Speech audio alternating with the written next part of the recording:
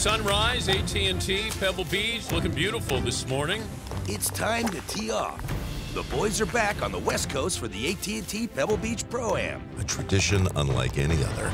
The beautiful Monterey Peninsula plays host for the next two days. Yeah, that was that was tough. From the professionals to the celebrities. That's how much I like you guys. Every fairway to every green. Don't miss a second. the Dan Patrick Show, live from Pebble Beach, starts right now.